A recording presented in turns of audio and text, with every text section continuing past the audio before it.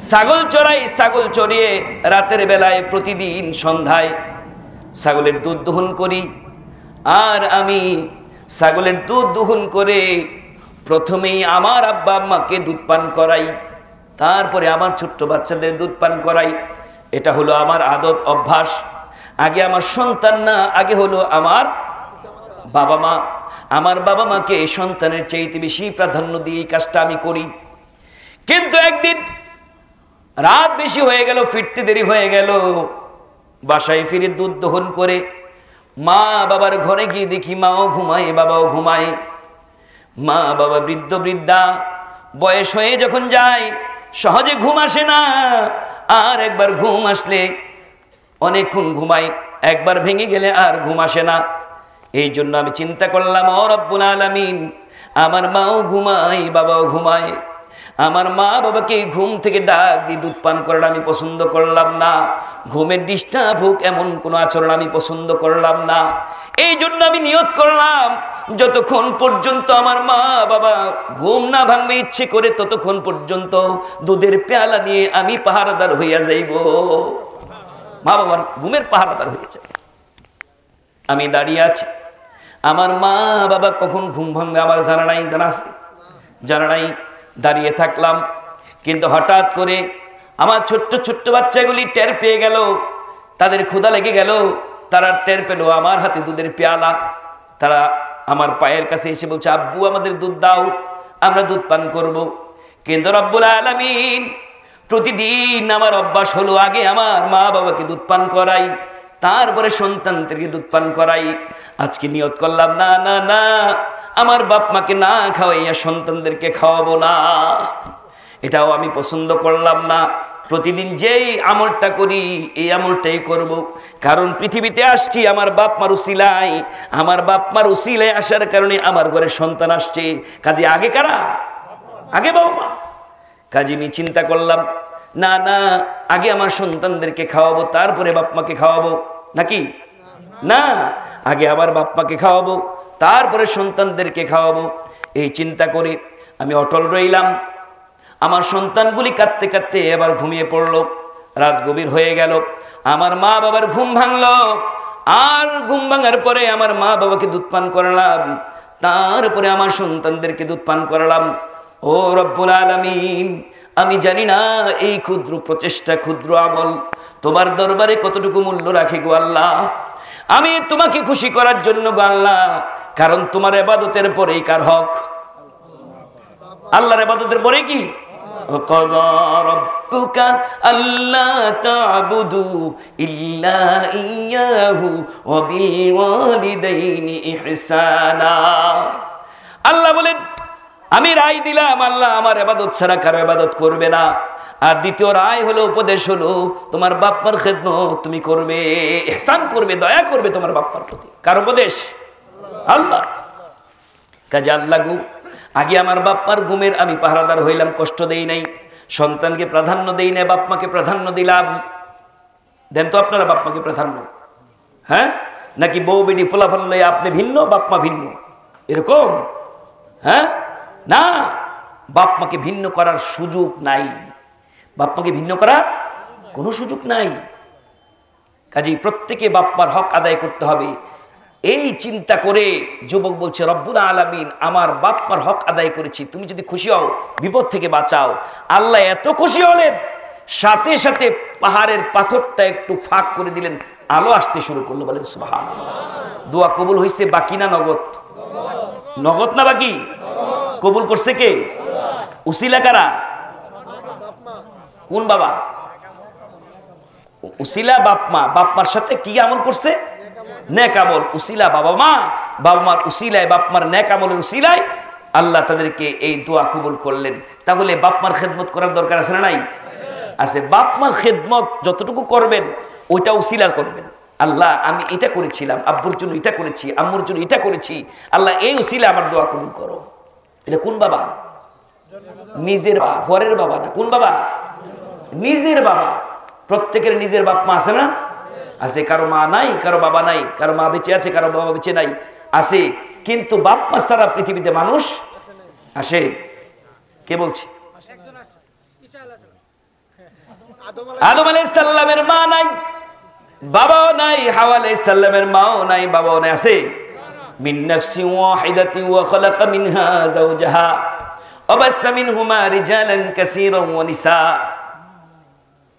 একজন মানুষ, নাম কি? আদম। তার মাও নাই, বাবাও নাই। একজন মানুষ একজন যুবক বানাইছে, কি বানাইছে? যার শিশুকাল ছিল না, বৃদ্ধকাল পরে হয়েছে আগে ছিল না, প্রথমে যুবক বানাইছে, কি বানাইছে? যুবক বানাইছে। আর যুবক একা একা থাকতে পারে না। আল্লাহ পাক তার সাথী সাথে সাথে বানাইছে, তার ভিতর থেকে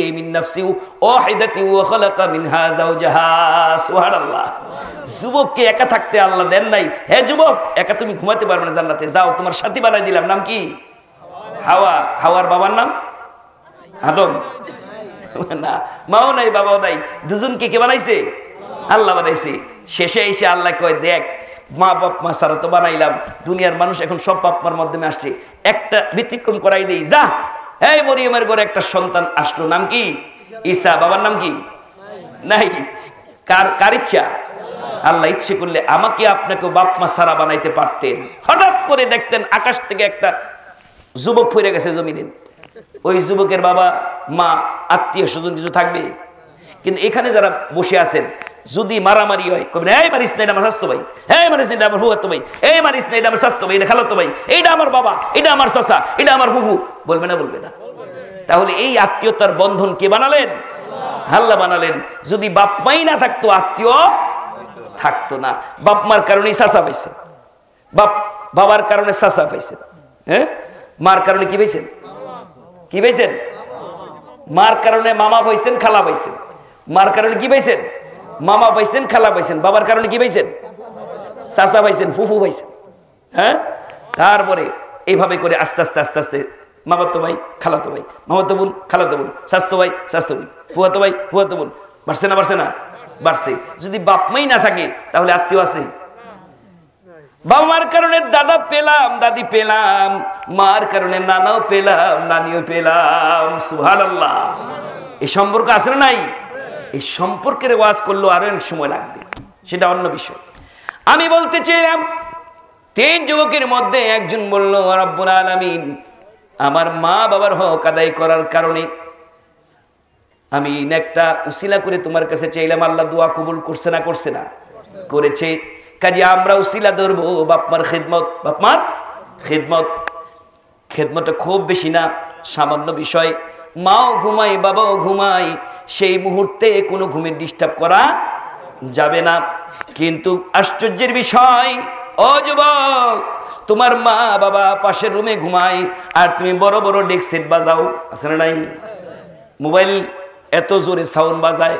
মা ঘুমাইলো নাকি, বাবা ঘুমাইলো কোনো খবর নাই। কিন্তু তুমি যখন ছোট্ট ছিলাম, তোমার মা বাবা তোমার প্রতি, ঘুমের প্রতি এত অ্যালার্ট ছিল তোমার মা ফোন করে তোমার বাবাকে বাজার থেকে আসার আগে অ্যালার্ট করতো, শোনো গো, কি হয়েছে? বাসায় যখন ঢুকবে, সাবধান কলিং বেলে টিপ দিও না। কেন? তোমার বাবা তোমার বাবা মানি সন্তান, তোমার জাদুমণি, সোনামণি ঘুমিয়ে আছে। বাসায় যখন ঢুকবে, মোবাইল ফোনটা সাইলেন্ট করে ঢুকো, ঘরে ঢুকার সময় যদি কল এসে পরে আওয়াজ হবে। আমাদের সোনামণি জাদুমণিকে অনেক কষ্ট করে কোলে নিয়ে ঘুম পাড়াইছি। সাবধান, সোনামণির ঘুম যেতে না ভাঙে। আমি আপনি যখন ছোট্ট ছিলাম, আমার ঘুম নষ্ট এটা আমার মাও চাই নাই, বাবাও চাই নাই। যুবক, তুমি এখন বড় হয়ে গেছো। তোমার মা বাবা পোলাপান হয়ে গেছে। তোমার মা বাবা ঘুমাই, তোমার কোনো খবর নাই। খবর হবে না? খবর হবে না ইনশাল্লাহ? খবর রাখবেন তো? বাপ মা ঠিক মতন ঘুমাইতে পারছে কিনা? ঘুমাইতে পারে না কেন? ওষুধ কাশতে কাশতে তাদের রাত খাবার হয়। ওষুধ এনে দিতে পারো না বাবা। বাবাকে ডাক্তার দেখাতে পারো না ভালো করে বাবার খবর নাও। বাবা কাশে। তোমার তো একটু অসুখ হলে সারা রাত তোমার মা বাবা ঘুমায় নাই। সারা রাত চোখ, দু চোখ লাগে হ্যাঁ যুবক, তুমি যে বিবাহ করে, তুমি একবার চিন্তা করে দেখো। তোমার সন্তানকে তুমি যে লালন পালন করছ, এই কষ্টটা তোমার মা বাবাও করেছে। করে নাই করে নাই? কিন্তু আমার ভাইয়েরা, সেই মা বাবা অনেকের ঘরে আছে, খেদমত নাই, ভুলে গেছে। আল্লাহর কাছে দোয়া করি, আল্লাহ যাদের ঘরে বৃদ্ধ পিতামাতা আছে, তাদেরকে তুমি হায়াতে তৈবা দান করো। আমিন বলেন? কারণ বৃদ্ধ পিতামাতার সাথে কি রকম আচরণ করতে হবে, তাও আমার আল্লাহ বলে দিলেন ইম্মা ইয়াবলুগান্না ইনদাকাল কিবারা আহাদুহুমা আও কিলাহুমা যখন তোমার মা অথবা বাবা একজন বা উভয়জন বেঁচে থাকবে, তখন তুমি কি করবে, কীভাবে কথা বলবে, তাও আল্লাহ পাক তাফসীর করেছেন বলেন, সুবহানাল্লাহ।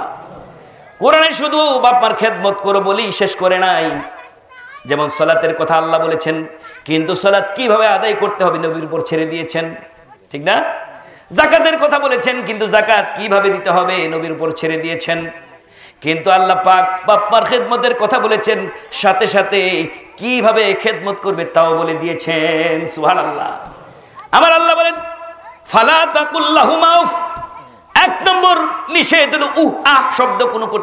বাপ্পার সামনে। বলতে পারবে, উফ, ফালা তাকুল্লাহুমা উফ, বিরক্ত হইয়া এরকম কোন কোহাকুই বাপমার সামনে চলবে না। কে নিষেধ করেছেন? বাপমার সামনে আহ শব্দ বলা হারাম। নিষেধ মানে কি? নিষেধ করেছেন কে? আল্লাহ নিষেধ করেছেন। হ্যাঁ যুবক, ভালো করে শোনো। তোমার মা বাবা তোমার সামনে যখন আসবে, তখন কোনো কোহাকুই চলবে না। হ্যাঁ কে? এরকম না। ফালা তাকুল্লাম উফ প্রথমে বলেন, উফ, এরকম করবে না। তাহলে কি করব? ফালা উফ। ওয়ালা তানহারহুমা, কোনোদিন ধমক দিতে পারবে না। কি দিতে পারবে না? ধমক। একটা যুবক বাসায় যখন ফিরে বাপমা বৃদ্ধ ওষুধ দিয়ে দিয়েছিল যে, বাবা, আমার জন্য ওষুধ নিয়ে আসো। বয়স্ক মানুষ তো ভুলে যায় বারবার। একই প্রশ্ন তিনবার, করে করে না করে না? ছেলেকে জিজ্ঞেস করল, বাবা, ওষুধ নিয়ে আসছো? হ্যাঁ নিয়ে আসছে। নর্মাল উত্তর। একবার তো। কিছুক্ষণ পরে বাবা চিন্তা করল ওষুধ আনছে কিনা, জিজ্ঞেস করছে কিনা, ভুলে তো গেছি। এই জন্য আবার জিজ্ঞেস বাবার, ওষুধ আনছো? কইছি না আনছে?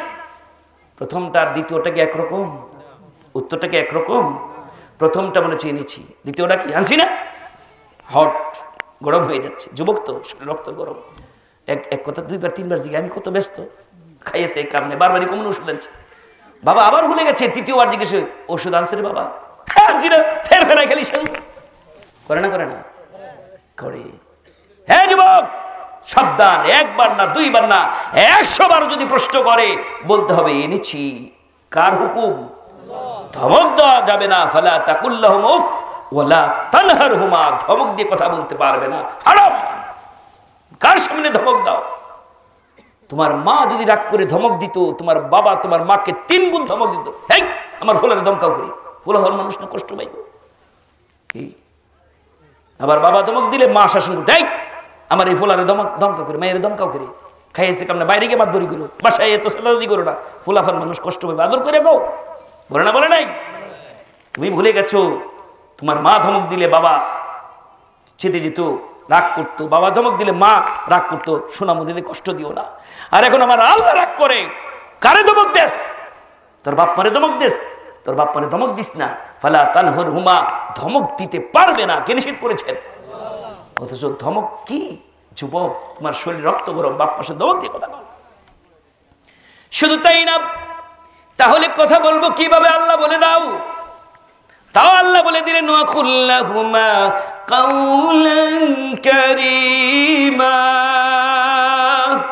আল্লাহু উল্লাহুমা নরম ভাষায় কথা বলো।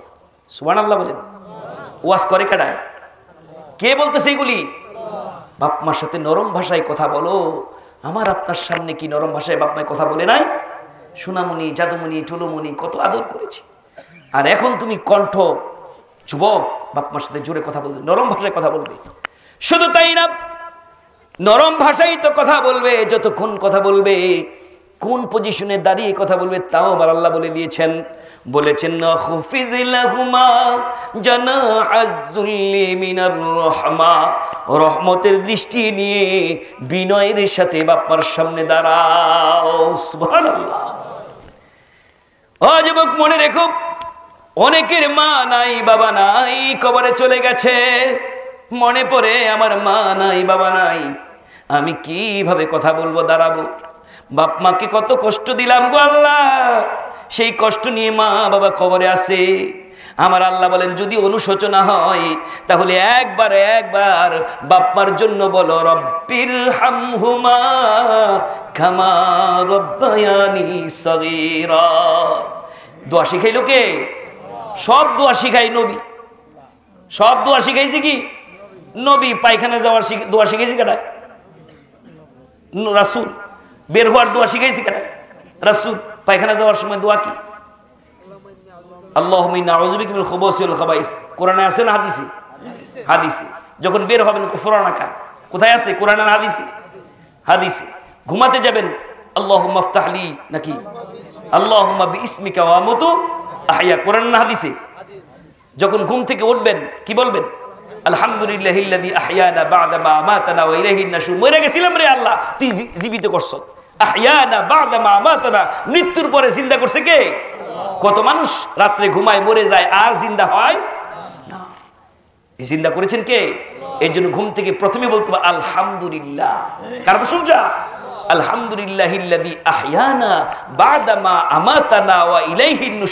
যে মৃত্যুর পরে জিন্দা করেছে, তার কাছেই ফিরে যেতে হবে। কথা বলে ঠিক কিনা? এই দোয়াগুলি সব হাদিসে কিন্তু আমার আল্লাহ বলেন, যার মা নাই, বাবা নাই, সেই দোয়াটা আমি আল্লাহ শিখাই দিছি। বলো, বলেন রব্বের হামহুমা খামা রব্বায়ানি সগীরা। সহজ না কঠিন? দোয়াটা সহজ না কঠিন? কে কে পারেন না হাত তোলেন?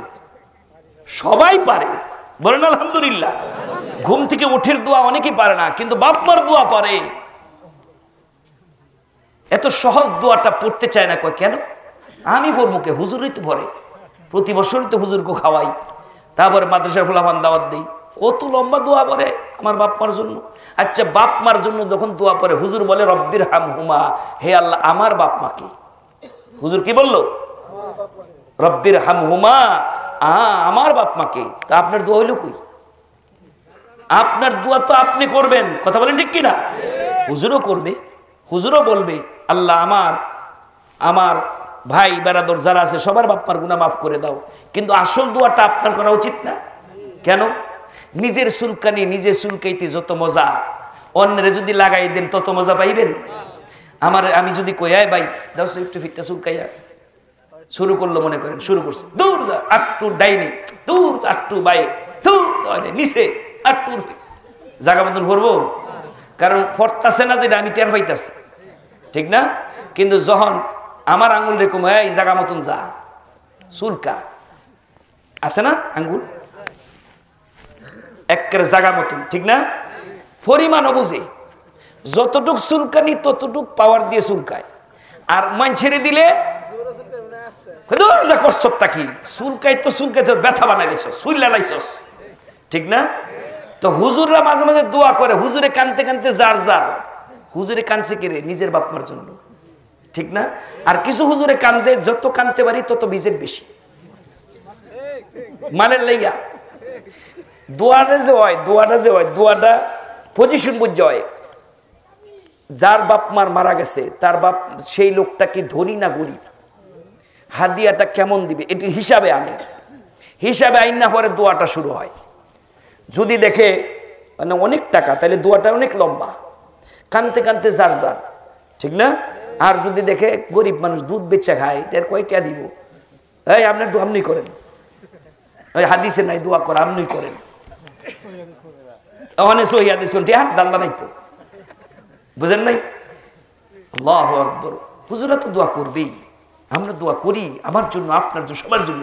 কিন্তু নিজের বাপ্পার জন্য দরদ দিয়ে যে দোয়াটা আসবে, চোখের পানি যদি এক ফোঁটা চোখের পানি আসে, আল্লাহ দরবারে সাথে দোয়া কবুল হয়ে যায়। কাজে আমার ভাইয়েরা, মা বাবা শুয়ে আছে, কবরের পাশে যাও। যে একটু দোয়া করো রব্বির হামহুমা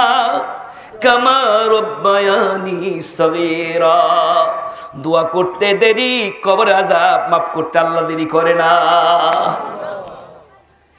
মনে মনে চিন্তা করবেন, এই বাবাই তো জীবিত ছিল, এই বাবার চেহারাটা আমার ভেসে আসে। এই বাবা আমাকে কত আদর করত, মা আমাকে কত ভালোবাসতো, চোখ দিয়ে অটোমেটিক পানি পড়বে, কেউ শিখাতে হবে না। কিন্তু আমি হুজুর, আপনার মা কেউ চিনি না বাবা কেউ চিনি না। আন্তাজেই শুধু দোয়া করি, কথা বলেন ঠিক কিনা? কাজে নিজের বাপ্পার জন্য নিজে নিজে বলবেন, হুজুর কখন বলব? যখনই মনে পড়ে তখনই বলবেন সুহান আল্লাহ এই দুয়ার কোনো টাইম নাই। ঘুমানোর টাইম আছে না নাই? ঘুম থেকে ওঠার টাইম আছে না নাই? তাহলে ঘুমের আগের দোয়া ঘুমের সময় পড়তে হবে। ঘুম থেকে ওঠার দোয়া ঘুম থেকে উঠেই পড়তে হবে। পায়খানা যাওয়ার দোয়া পায়খানা যাওয়ার আগেই পড়তে হবে। নাকি ওখানে বলল ইবু কন একটু ভৈরালাই আগে জামুই তো সোয়ালে অনেক ভৈরালাই হবে? না, কিন্তু বাপমার দোয়ার কোনো লিমিট নাই, স্থান নাই, কাল নাই, পাত্র নাই, মনে হইল আর দোয়া পড়ো সুবান মনে হইল আর কি? দোয়া পড়ো। মনে হয়েছে, মা গো, তুমি তো নাই, বাবা গো, তুমি তো নাই বলেন মনে মনে রব্বির হামহুমা কামা রব্বায়ানি সগীরা। মনে মনে দোয়া করল কে শুনে? বাজারে বসে রয়েছে, আড্ডা দিতে হঠাৎ বাপ্পার কথা মনে পড়ছে। হ্যাঁ একজন কইছে, আমার বাপ আমার আব্বাই মারা গেছে ভাই। তখন মনে হয়েছে রে আমার আব্বা তো নাই। সাথে সাথে বলেন রব্বির হামহুমা কামা রব্বায়ানি সগীরা। সুর লাগতো না। যখন হুজুর, আপনি যে সুন্দর করে সুর দিয়ে দোয়া করছেন আঙ্গুতে এত সুর নাই। সুর লাগতো না, খালি মনে মনে কইবেন, আল্লাহ আমার বাপ মারে মাফ করে দো এই কইলি। পারতেন না ইনি পারবেন না? ইনশাআল্লাহ। আমি ওদিকে যাচ্ছি না। যুবক বলল, রব্বুল আলমিন আমার বাপ্পার জন্য আমি এতটুকু করার কারণে আমাকে তুমি মাফ করো, আমাদের বন্ধুকে বাঁচাও। আল্লাহ দোয়া কবুল করলেন, পাথরটা সরে গেল। দ্বিতীয় বন্ধু বলতে লাগল, রব্বুল আলমিন, আমার সুন্দরী রূপসী একজন চাচাতো বোন ছিল, যাকে অন্য মানুষ যেভাবে একজন নারীকে ভালোবাসে, তার চাইতে বেশি ভালোবাসতাম আমার বোনকে আমি। ভালোবাসার কারণে তার প্রতি আবেগের কারণে তাকে নির্জনে একা একা মিলনের প্রস্তাব আমি পেশ করলাম। আমার বোন সচ্চরিত্রা সচ্চরিত্রা মেয়েদের কখনো আপনি যদি অফার করেন, লোভ দেখান, কিন্তু তার চরিত্রে আল্লাহর ভয়ে যদি থাকে, আপনার অফারে রাজি হবে না। মহিলা বলল, মেয়ে বলল, না ভাই, আমি তোমার প্রস্তাবে রাজি না, আমি অবৈধ কাজ করতে পারব না। যুবক বলছে, রব্বুল আলামিন আমার বোন যখন আমাকে না করে দিল, আমি চিন্তা করলাম, দেখি কোনো বিপদগ্রস্ত সময় আসেনি। বিপদের সময় কিন্তু মানুষ অনেক অবৈধ কাজকে বৈধ মনে করে করে, ঠিক না? বিপদে পড়ে করে। হঠাৎ করে দুর্ভিক্ষ লেগে গেল। অভাব অনুরোধ চতুর্দিকে আমার বোন সেই অভাবের মুহূর্তে আমার কাছে আসলো। এসে বলল, ভাই, এই অভাবের সময় তোমার কাছে একটু সাহায্য চাই। কি চাও বলো? একশো দিনার যদি আমাকে দাও, আমার উপকার হয়। যুবক চিন্তা করে, এই তো মুখ্যম সময়। বিপদে এসে আমার কাছে সাহায্য চেয়েছে। আগের প্রস্তাবটাই পেশ করল। বলো রাজি কিনা, একশোটাই দিব। মেয়েটা চিন্তা করল, এই মুহূর্তে আমার জীবন বাঁচাতে হবে, আমার সংসার বাবা মাকে খাওয়াতে হবে। রাজি হয়ে গেল, একশো দিনার নিয়ে চলে গেল। সময় মতো মেয়েটা, যুবক বলছে, রব্বুল আলমিন আমার সাথে যদি ওয়াদা করেছে, ওয়াদা পালন করার অর্থে নির্জনে চলে গেলাম দুজন। এমনকি মাঝখানে বসে গেলাম, সেই মুহূর্তে আমার এই বোন নিজের চরিত্রকে হেফাজতের জন্য আমাকে একটি উপদেশ দিল। বলল ভাই রে ইত্তাকুল্লাহ, আল্লাহকে ভয় করো। দুনিয়ার কেউ দেখবে না। দেখবে কে? জুড়ে বলেন। দুনিয়ার কেউ দেখবে না। আমি, তুমি নির্জনে যদি জিনা করি, এই জিনার কাজটা আল্লাহ দেখবে। আল্লাহকে ভয় করে, যুবক আমার ভাই, তুমি আমাকে ছেড়ে দাও। যুবক বলছে, রব্বুল আলামিন, আমার শরীর উত্তেজিত। এই মুহূর্তে আমি জিনার কাজটা করার জন্য রেডি হয়ে গিয়েছিলাম। কিন্তু যখন আল্লাহ গো তোমার নাম বলল গো আল্লাহ করল তোমার কথা যখন উচ্চারণ করল গো আল্লাহ, সেই মুহূর্তে আমি তোমার ভয়েতে আমার বোনকে আমি ছেড়ে দিলাম, উঠে পড়লাম গো আল্লাহ। জিনার কাজ থেকে আমি ফেরত থাকলাম গো আল্লাহ। এই কাজটা যদি তোমার কাছে ভালো হয়ে থাকে গো আল্লাহ, বিপদ থেকে আমাদেরকে বাঁচাও। আল্লাহ রব্বুল আলমিন সব জানেন, তারপরে যখন উসিলা ধরলো, আল্লাহ জানেন একটা যুবকের জন্য কত কঠিন একটা কাজ, যে নিজের চরিত্রের হেফাজতের জন্য আল্লাহকে ভয় করে দিয়ে সামনে থাকা বস্তু বক্ষণ করা থেকে, ভোগ করা থেকে বিরত থেকেছে। কার ভয়ে? আল্লাহর ভয়। আজ বাপ তুমি মনে করেছ এরকম সুযোগ তো আমার জীবনে আসে না। কে বলেছে রে যুবক? ডিজিটাল যুগ। তোমার তো এখন রাত দিন চব্বিশ ঘন্টায় ঝিনাই উপকরণ তোমার সামনে চলে আসে। শুধু যুবকের কাছে না এই হুজুরের কাছে যে মোবাইলটা আছে, যখন ঢুকি ওয়াজ শুনতে, হঠাৎ করে জিনের উপকরণ আসে না আসে না। আসে, তোমার আঙ্গুলের সামনে আসে, তুমি ইচ্ছে করলে দেখতে পারো। আর যদি মনে করো এই আঙ্গুলটা তো আল্লাহ দেখছেন আমি কোথায় ডিলেট করছি, কোথায় চালাইছি, কাজে আল্লাহ গো, তোমার ভয়েতে আমি এই খারাপ দৃষ্ট সরিয়ে দিলাম। যদি এটা করতে পারো, এটাও একটা নেক কাজ হয়ে যাবে। পারবেন তো ইনশাল্লাহ নাকি মনে করবেন কেউ তো নাই? কেউ তো দেয় না হুজুর মুসল্লি কেউ নাই, আমি তো ইমাম সাহেব, আমার তো দেন। দেখি। হ্যাঁ? দেখলেই সর্বনাশ। আর যদি বেঁচে থাকতে পারেন, এটা কি? নেক্কাস। এটা কি? নেক্কাস। ছেলেটা বলল রব্বুল আলামিন, আমার বোনকে আমি ছেড়ে দিলাম, তোমার ভয়েতে আল্লাহ গো। এই অন্যায় কাছ থেকে, জিনার কাছ থেকে ফেরত থাকা অনেক কাজ সুবহানাল্লাহ বলেন। জিনার কাছ থেকে ফেরত থাকা অনেক কাজ যেমনি করে স্ত্রীর সাথে সহবাস করা সাওয়াবের কাজ। সুমান আল্লাহ বলেন। আল্লাহ নবী বললেন, স্ত্রীর সাথে সহবাস করলে সব হয়। আল্লাহ নবীকে বললেন, ইয়া রাসূলুল্লাহ, এটা তো আমাদের প্রয়োজনের তাগিদেই করি, এটার মধ্যে আবার সবের কি হলো? আল্লাহ নবী উল্টা প্রশ্ন করলেন, বলো দেখি, এই বৈধ কাজটাই যদি অবৈধ করতে, তাহলে কি হতো? তাহলে কি হতো? তাহলে যেই কাজটা করলে গুনাহ হয়, ওই কাজটা করলে কি হয়? যে কাজটা করলে গুনাহ হয়, ওই কাজটা না করলে কি হয়? সব হয়। ওই কাজটা যদি সৎভাবে করো সব হবে। আর অন্যায়ভাবে করলে গুনাহ হবে। কাজে আমার ভাইয়েরা যদি কেউ জিনার উপকরণ থাকার পরও জিনার উপকরণ বা জিনা না কর- না, যতক্ষণ জিনা থেকে ফেরত থাকবে, তাহলে তার কি হবে? তাহলে কি হবে? সব হবে না কাজ হবে, এটা মনে রাখবেন। কাজে আমার ভাইয়েরা, ওই যুবক বলছেন রব্বুল আলামিন, আমি জিনা থেকে ফেরত থাকলাম তোমার ভয়ে। এটা যদি নেক কাজ হয়, এই উসিলায় আমাদেরকে বাঁচাও। আল্লাহ রব্বুল আলমিন এত খুশি হলেন। একটা যুবকের জীবনে, একটা লাইফে এমন একটি মুহূর্ত থেকে ফেরত আসা এটা চারটেখানি কথা না। সবাই কি পেরেছি আমরা? সবাই কি পারি? পারি না। কাজে আমার ভাইয়েরা এই কাজটা আল্লাহ রব্বুল আলমিনের কাছে এত পছন্দ হলো। সাথে সাথে পাহাড়ের গুহা থেকে ওই পাথরটা আল্লাহ রব্বুল আলমিন আরও একটু সরিয়ে আলো এবং বাতাসের ব্যবস্থা করে দিলেন। সুবান আল্লাহ বাড়ির গিয়ে কইন সুবহান আল্লাহ বলেন। এগুলি কি বানাই বানাই ওয়াজ করতেছি নাকি?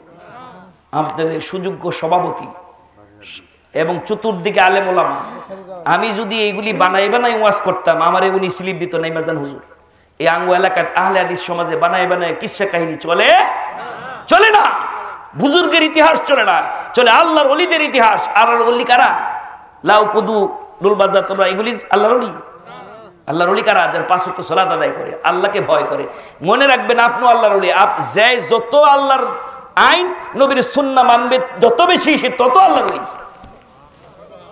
চেহারা সুন্দর হলেই গেলে আল্লাহর অলি হওয়া যায় না। আর বাবাই আল্লাহর অলি আসিল আমিও আল্লাহর অলি কি আপনার বাবাই ডাক্তার? আপনি কি ডাক্তার? হ্যাঁ? আপনি, আপনার বাবা মনে করেন মেডিসিনের ডাক্তার আপনি হয়েছেন কারাসিনের ডাক্তার। এমনি হয়েছেন নাকি? না, পড়াশোনা কইরা। পড়াশোনা করে প্র্যাকটিস কইরা, কাজেই যারা যত বেশি প্র্যাকটিস করবে, তত বেশি আল্লাহর অলি সে আল্লাহর অলির ফর্মুলা কোরআনে আসে না নাই? কোরআন এবং সহি যারা যত বেশি মেনে পড়বে, মেনে চলবে, সে তত বেশি আল্লাহর অলি এটা মনে রাখবেন। এটাই আল্লাহর অলি সিনার লক্ষণ। খালি দেখবেন কোন লোকটা বেশি কোরআন মানে বেশি হাদিস মানে। এটাই আল্লাহর অলি লহার লক্ষণ। খালি ইস, ওনার চেহারাটা কি সুন্দর, নূর বাইশাইতাছে উনি আল্লাহর অলি মিথ্যে কথা। চেহারা কাউকে কালো বানিয়েছেন, কাউকে সুন্দর বানিয়েছেন। সবচেয়ে কালো মানুষটা সবচেয়ে দুনিয়ার সবচেয়ে কালো মানুষটা মসজিদে নবীর মুয়াজ্জের নাম কি? সবচেয়ে কালো মানুষটা জান্নাতে নবীর আগে আগে হাঁটে, নাম কি? তাহলে হরজত বেলাল যদি কালো মানুষ হওয়ার পর আল্লাহর অলি হতে পারে, আল্লাহর অলি সারা জান্নাতে যায়? আর অলি সারা জান্নাতে হাঁটে?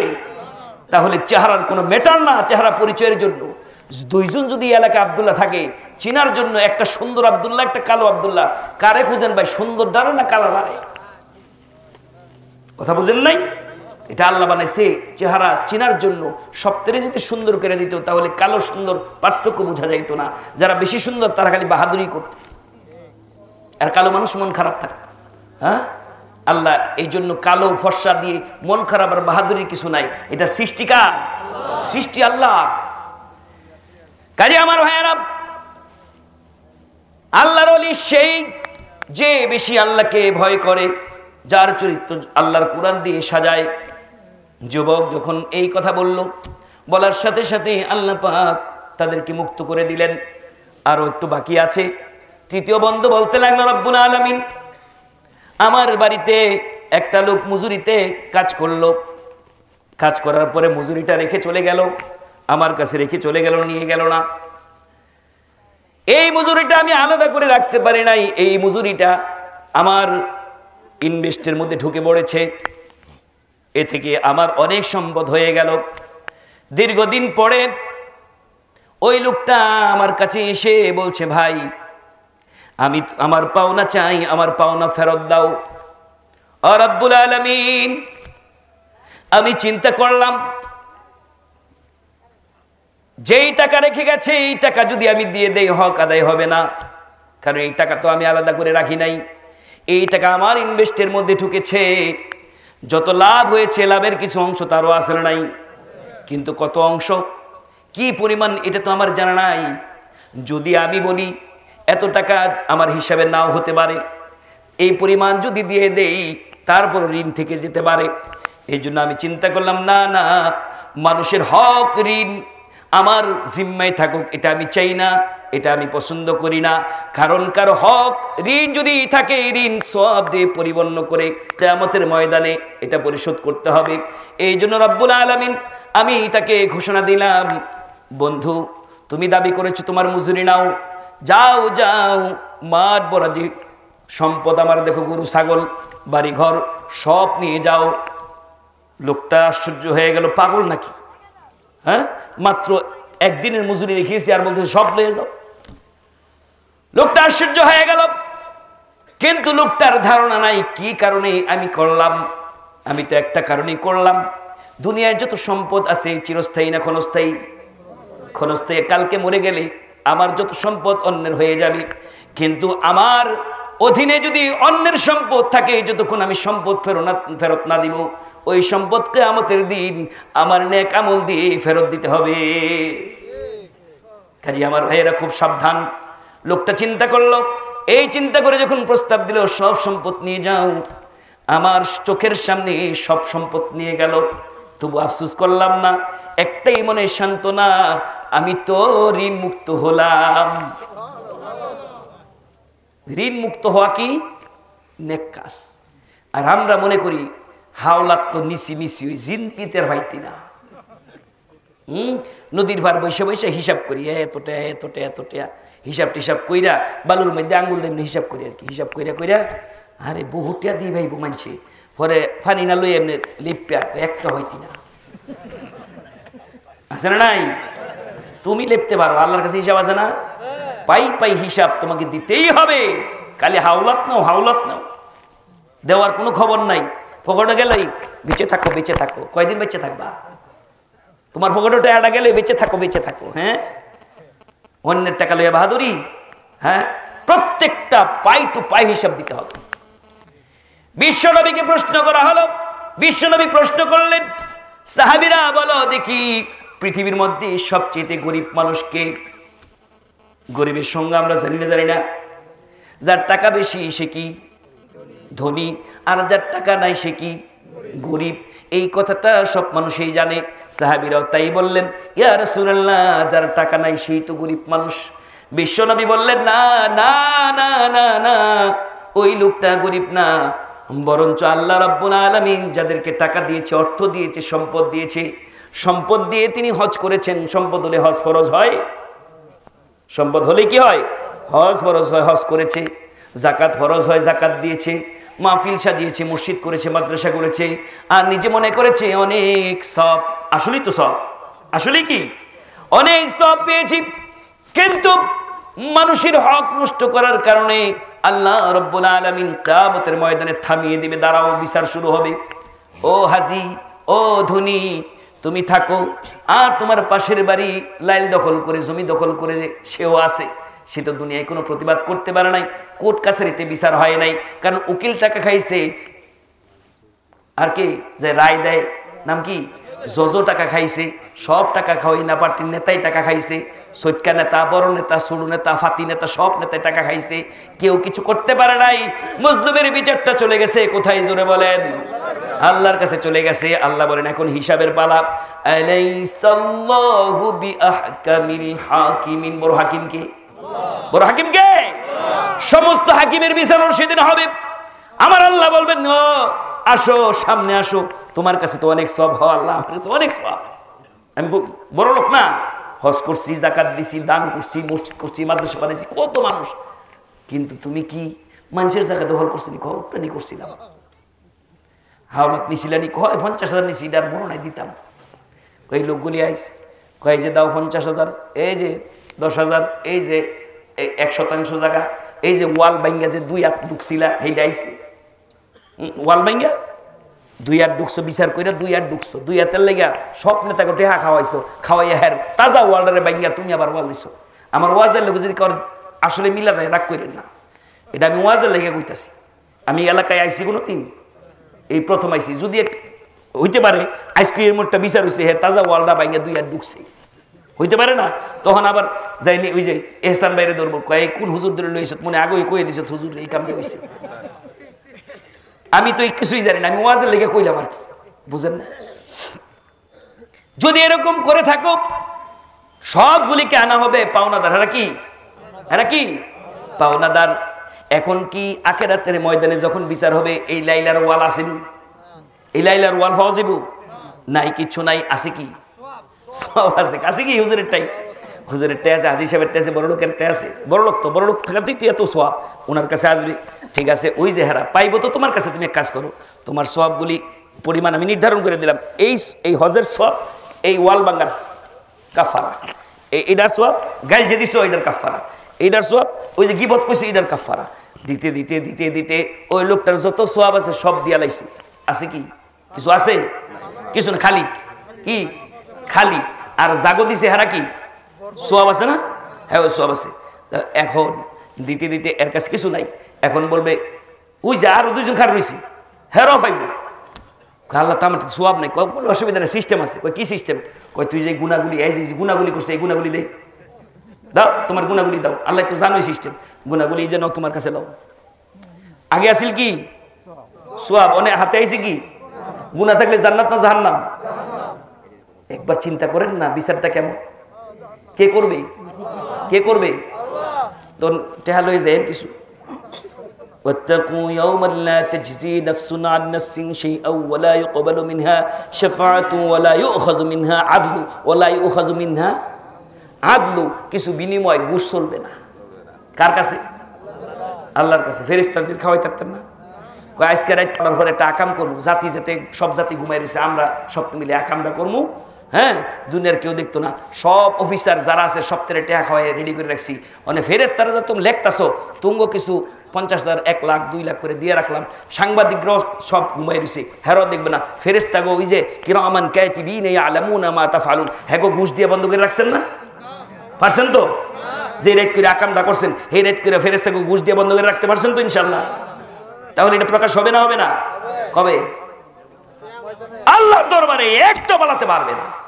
যত বড় ক্ষমতাশালী হোক, প্রধানমন্ত্রী যদি আকাম করে থাকে রাতের আধারে, প্রধানমন্ত্রীকে ধরার ক্ষমতা কে রাখে? আল্লাহ রাখে।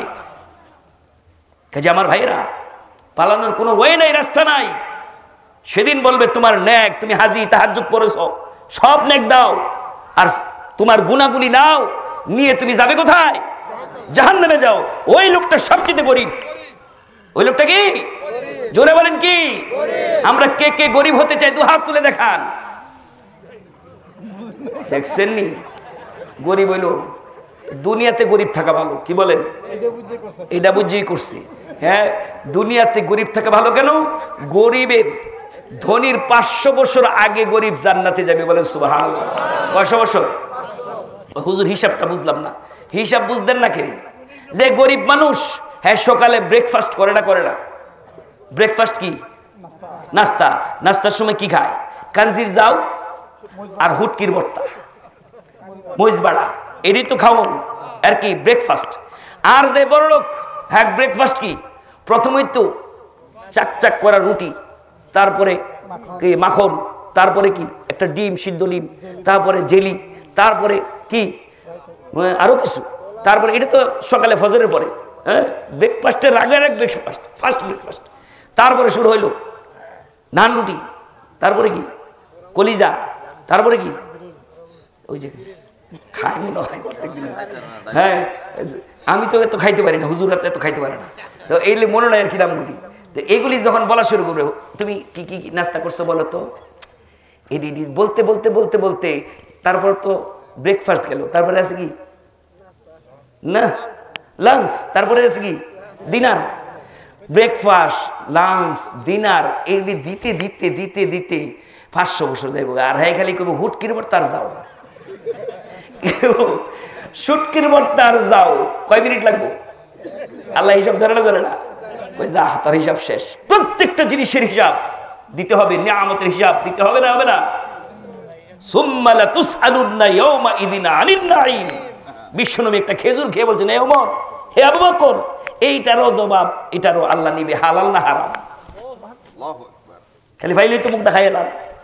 আর বিশ্বনবী ঘরে গেছে গেছে এই যে এটা কি হাদিয়া না সৎকা হাদিয়া না সৎকা সৎকা মানে নবীর জন্য হারাম। এই জন্য জিজ্ঞেস করছে। খালি ফাইলেই খাইছে না, অথচ তিন দিন ধরে নবীর ঘরে খাবার নাই। সাথে করে আবু রাইরাকে মেহমান করে নিয়ে গেছে। গিয়ে জিজ্ঞেস করছে, ঘরে কোন খাবার আছে গো? নবী জানেই না ঘরে কোনো, গায়েবে জানে? নবী গায়েব জানে? গায়েব জানে? না, গায়েবের মালিক কে? আল্লাহ, নবী গিয়া গরজি গায়ে ঘরে কোন খাওয়ান আছে গো কই হুজুর আছে। কি? সামান্য একটু দুধ আছে। এখন দ্বিতীয় প্রশ্ন, দুধটা কি সদকা না হাতিয়া?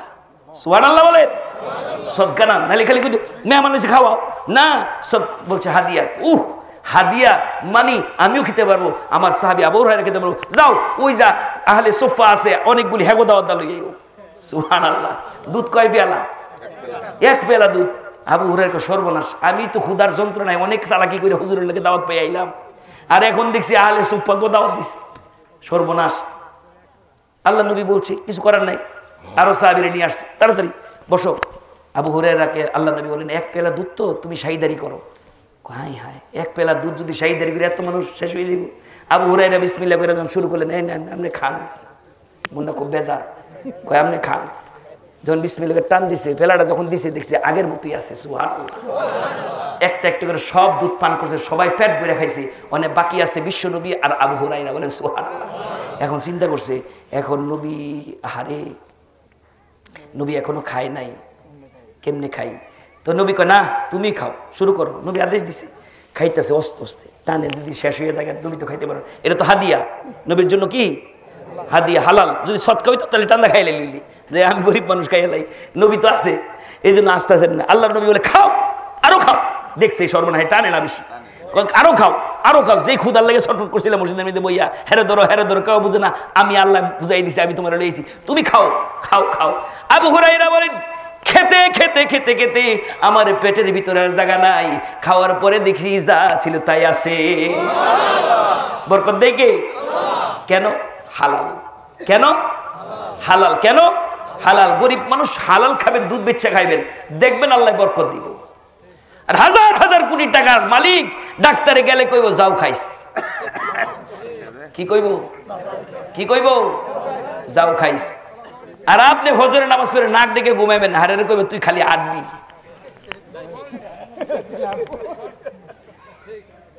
এ আড়ার নাম কি? ডায়াবেটিসের? হার্টের প্রবলেম, বিভিন্ন প্রবলেম প্রবলেম প্রবলেম দেখা দিয়েছে। প্রবলেম কি? সমস্যা। ও সুখ মানে সুখ নাই। আছে না নাই? আছে। কাজে আমার ভাইয়েরা, মানুষের হক যদি নষ্ট করেন, তাহলে অবশ্যই হালাল হারাম বিবেচনা না করলে আটকে যেতে হবে কামতের ময়দানে। গরিবরা আগে যাবে আর আপনি ধনী গরিব হয়ে যাইবেন। আর গরিব মানুষ ধনী হয়ে যাইব কারণ দুনিয়াতে বিচার ভাই নাই। সহ্য করে, ধৈর্য ধরে আল্লাহর বিচারের অপেক্ষায় ছিল, তারা আল্লাহর বিচার পেয়ে খুশি হয়ে যাবে কাজী যুবক বলছে, রব্বুল আলমিন,